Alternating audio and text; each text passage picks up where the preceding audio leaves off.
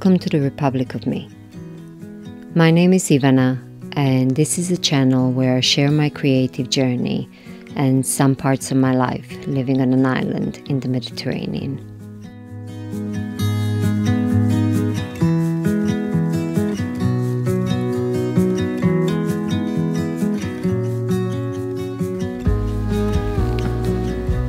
Hey, I thought that it's going to be too too hot for me to wear this jumper today when I record. And by all rights, it should be because it started getting uh, warmer already a couple of months ago here. But uh, somehow today, it's a lovely day, but it's windy and it was even raining this morning.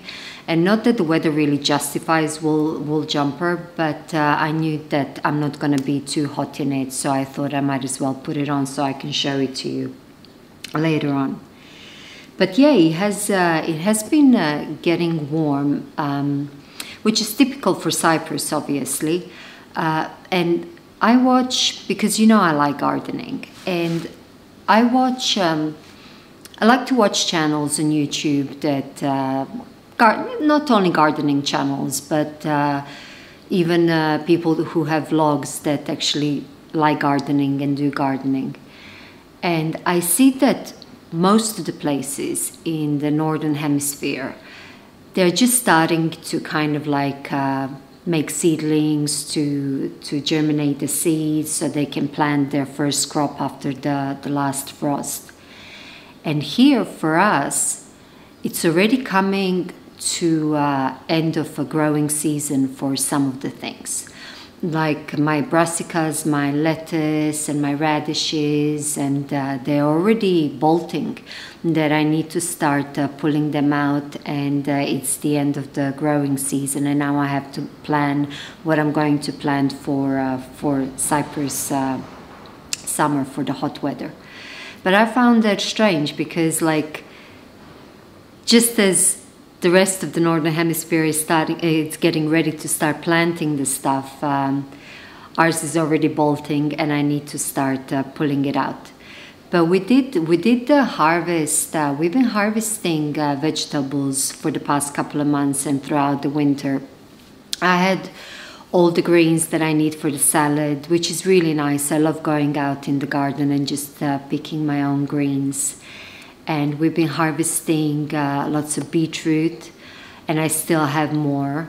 Radishes that i planted they didn't do so very well but um, that's okay. But we got a lot of beetroots. We got this other vegetable how is it called um, in serbian we call it keleraba um, and in greek it's kurvula or kulumbra um, but uh, it's it looks like a beetroot, but it's white, um, a bit bigger.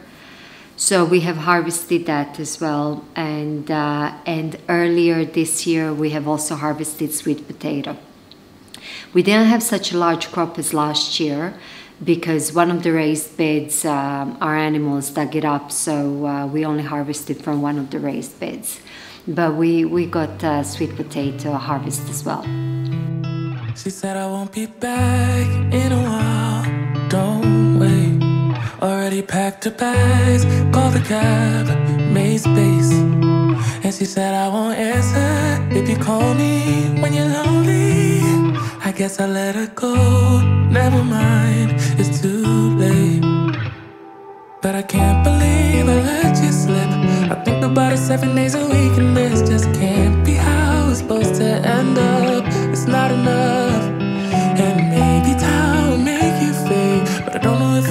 Just let you go away. Like my friends think I should. Cause what if I just wanna be with you? I don't know what the hell I'm gonna do. But honestly, I can't remember if you love me. Or maybe I'm just feeling lonely, I don't know. Just let it go. She got herself a guy, and he's good. No, great. Everything she wanted packed behind the pretty face. But I kinda hope he breaks her heart into little pieces and let me pick them all back up and put them back together. But I can't believe I let you slip. I think about it seven days a week, and this just can't be how it's supposed to end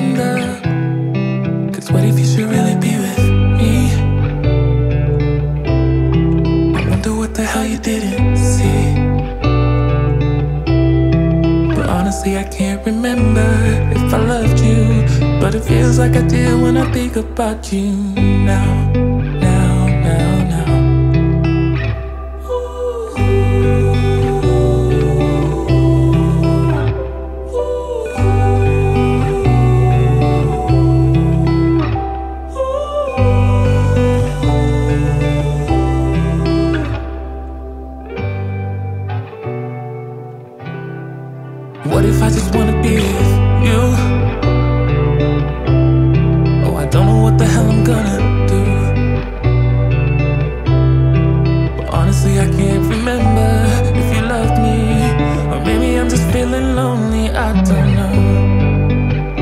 let it go.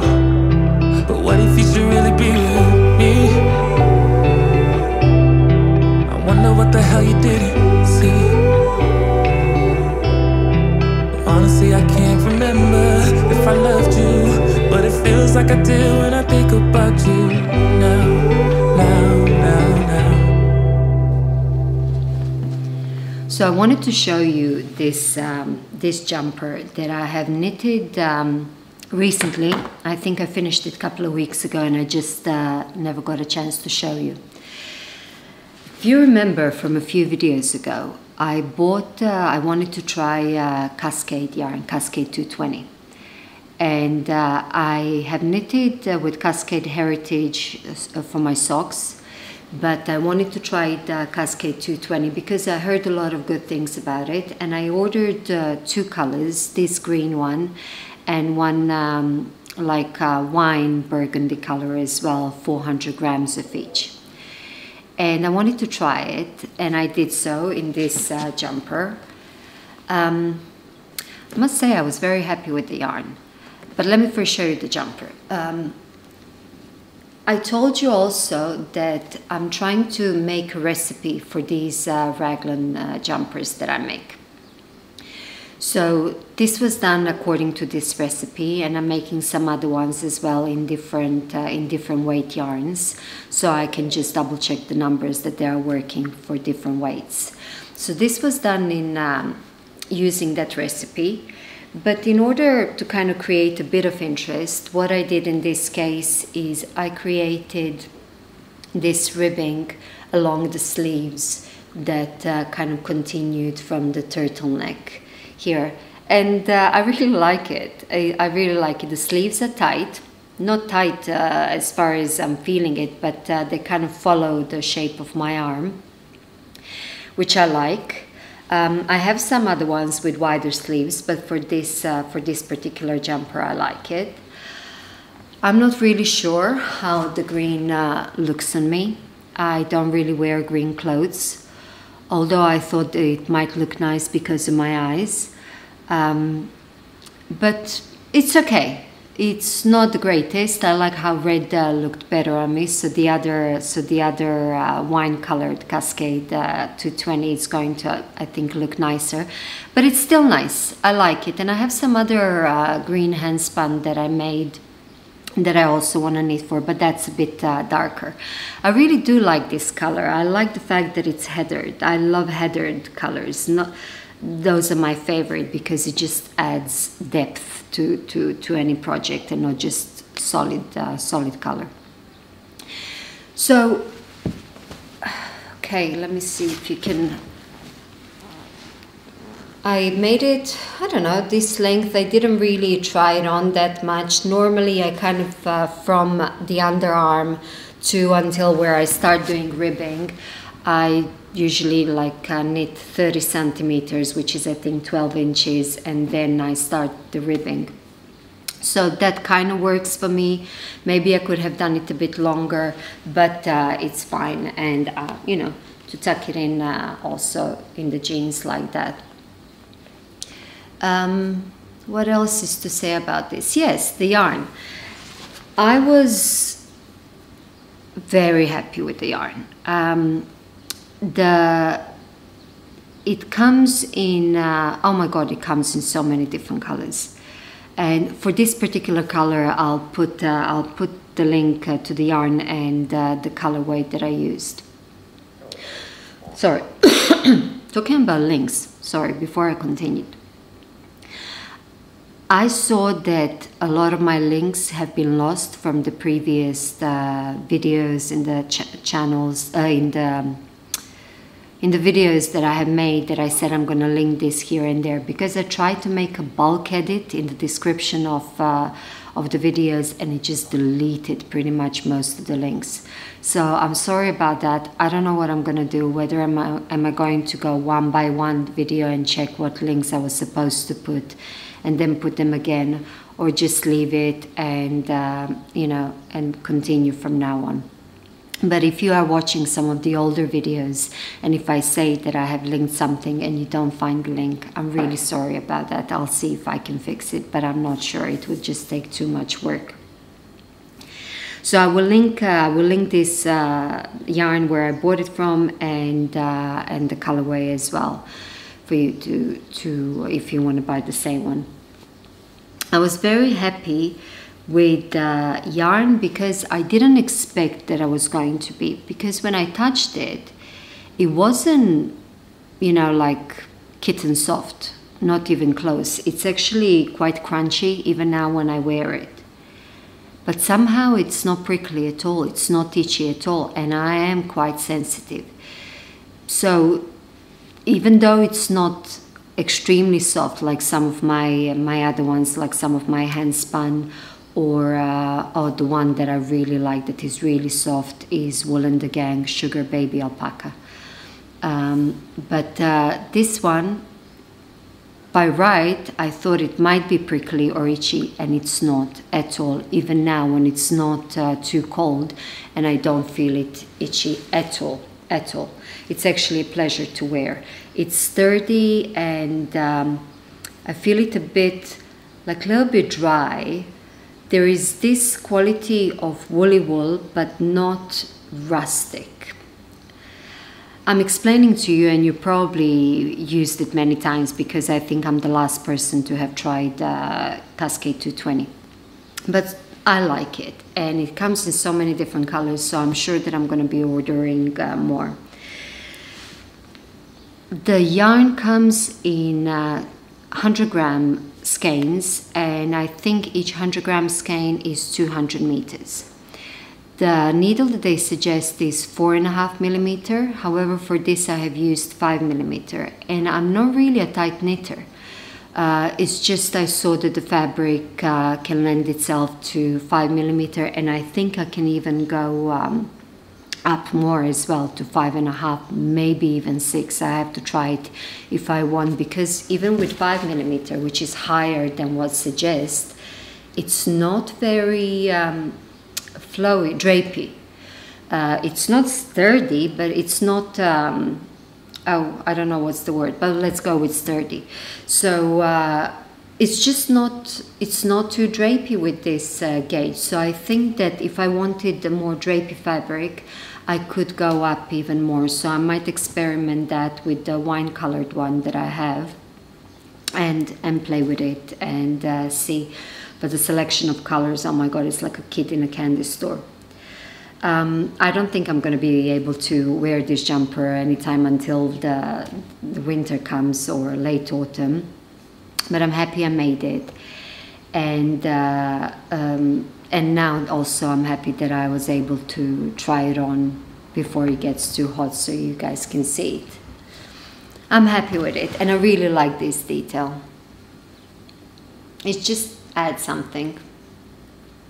It's a, it's a twisted uh, rib, the same that I did on the neck, and then I just chose like a small panel in the sleeve and continued it from the neck all the way down to the arm and continuing into the ribbing of the sleeve as well. this is very awkward. I should have just knelt, knelt down. You see it? Okay, so since I liked Cascade 220 this much, I do have Cascade 220 fingering, and I have a lot of it in different colors. And I have never knitted with it on its own. I have knitted it, uh, used it once last year when I made the jumper for Mario. I held it together, so that's Cascade 220 fingering. I held it together with Drops Flora when I made uh, Mario's jumper. Uh, and um, I will put the name of the jumper now. Um, it's one of the rare patterns that I followed and it uh, it fit it fit lovely. It fit perfectly. I will also put the picture of Mario wearing it. I, I caught him by surprise one time because he would never model for me. So I just uh, I snapped the photo a couple of months ago during the winter when we were at his mom's house. So it fits great, but uh, for that pattern. Um, I think the neckline was a bit too wide, so maybe next time I'll see how I can make it a bit uh, higher up for him because I really do like that model, the jumper, that pattern. And it was easy to follow, which usually for me patterns are not. So, yeah, I worked with Cascade 220 fingering only that time when I held it together with uh, Drops Flora. But I couldn't really get the feel of the yarn that much because I was holding it with another yarn. I did swatch. I did swatch uh, a few months ago on two and a half millimeter needles. And the fabric came out beautiful. Now the fabric, even though the Cascade 220 fingering is light fingering weight, it's 250 meters, I think, per 50 grams. So that's like 500 meters per 100 grams. It's it kind of fluffs up when when you wash it and block it because it's not perfectly smooth the yarn, which I like. Sorry again, something is tickling me in my throat. and uh, normally because I'm not a tight knitter, for yarn that uh, of that yardage, I would need to use smaller needles. But I have used two and a half, and the fabric created is quite dense. It's not thick, but there are no gaps. So I thought that maybe I could go even to three millimeter needles, and I wanted to make a jumper out of it. Again, testing uh, the recipe that um, that I'm making for you guys. Um, I wanted a lightweight jumper because sometime next month we are taking my parents uh, for a two-week uh, cruise uh, around Mediterranean, and I wanted to have a lightweight jumper that to have. I mean, it really shouldn't be hot because I mean, it's May and uh, second part of May, and uh, it's around Mediterranean. But you never know, you know, being on the sea, and so I wanted to have a jumper with me as well, but something lightweight. And I started knitting with it. Uh, the color that I chose is simply the one that I had the most of. I will link that one as well in the description. that was not very elegant, was it? The jump. So I'm working on it. I've been working on it for a couple of weeks. Uh, using three millimeter needles. Okay, I'm on the, how will you see this now? I'm on the second sleeve. And it's also a raglan jumper it's a high it's a high neckline, but it's not a turtleneck. It comes right up to here. And I will show it to you more in the next uh, in the next video once I finish because uh, I should be finished any day now. I'm on my second sleeve, and once I wash it and block it so the fabric uh, gets gets the real. Um, its real form. I'm losing my words today. I don't know how, um, but that I have to compose myself and get the words. Okay, no, I still didn't get the words. But um, when I wash it and block it, and the fabric kind of uh, comes to its state that it's going to be later on, that it fluffs up and just evens out all the stitches. But this is how it looks for now. I can't tell you on top of my head what is uh, the colorway. Uh, I, I, will write it down. Um, but it's, it's the one that I had most of.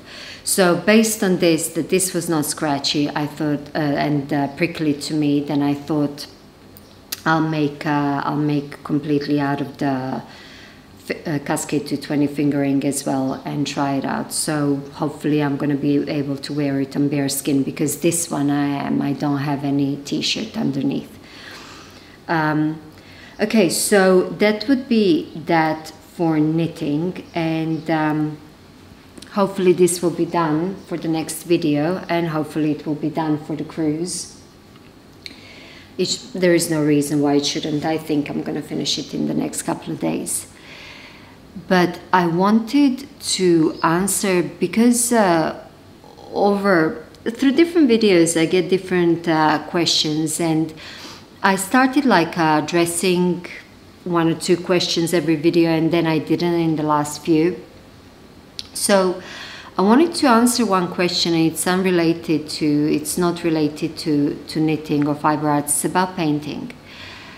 I have shown you some of my paintings in a few videos, uh, not that many. I'm starting to get uh, the itch to paint again, so maybe there will be a bit more of uh, that in the upcoming videos. But I was asked about the this painting because this painting uh, is in my studio upstairs and it's See, I'm sorry because I don't know now where is it focusing. Is it focusing on my face or her face? So if I'm blurred or if she's blurred, sorry, let me put it closer.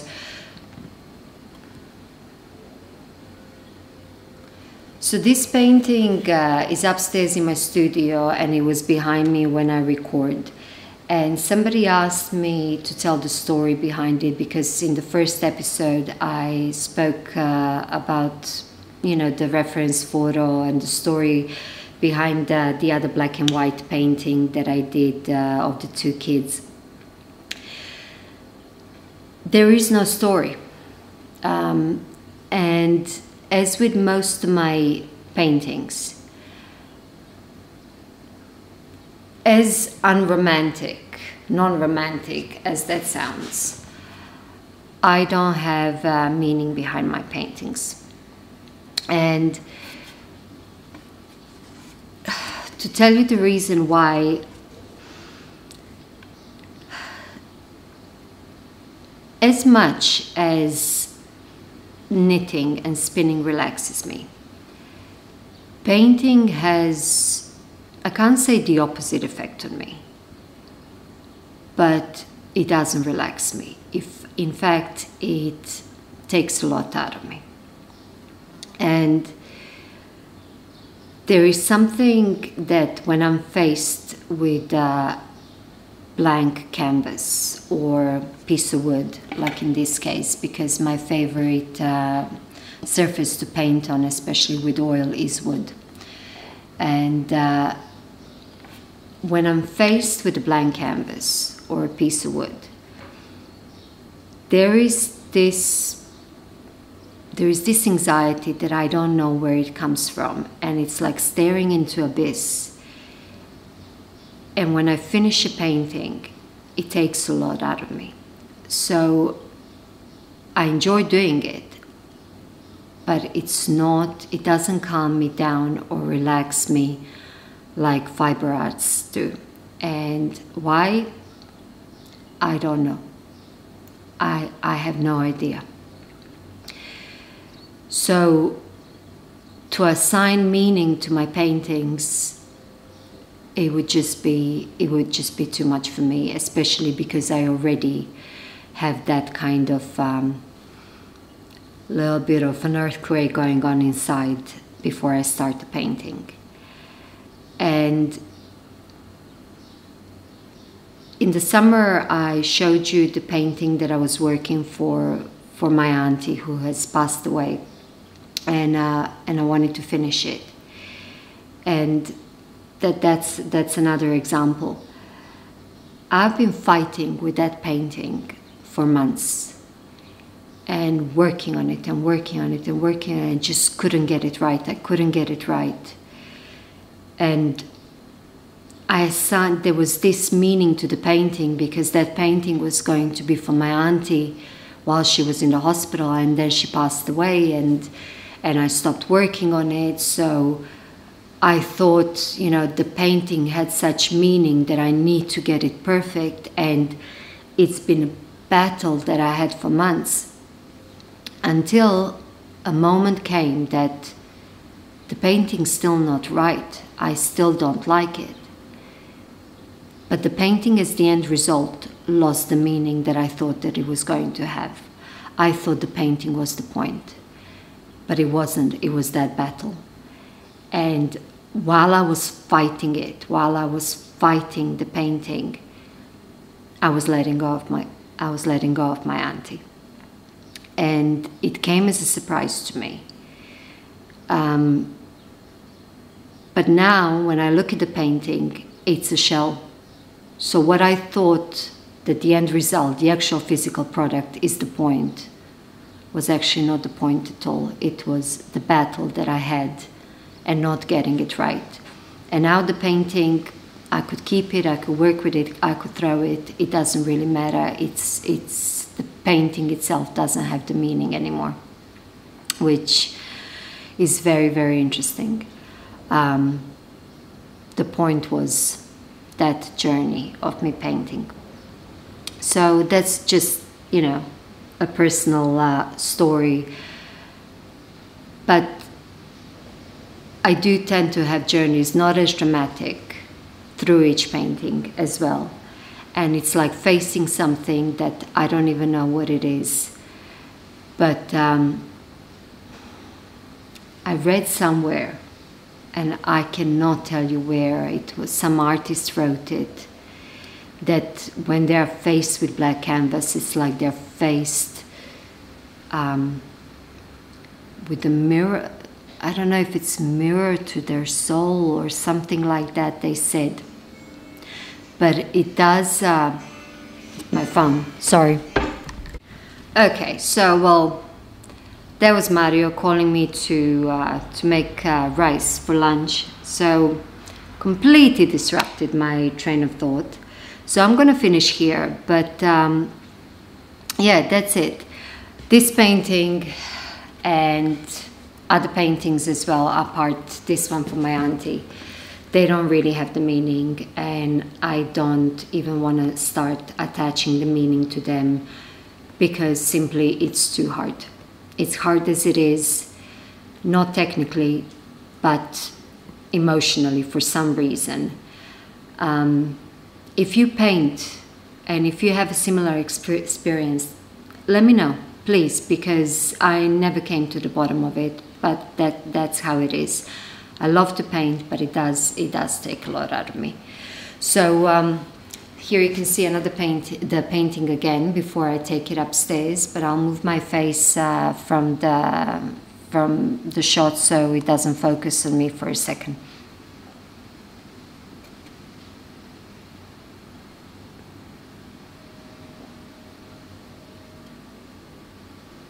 Okay. So I hope you like it and um, I'll see you soon. Bye for now.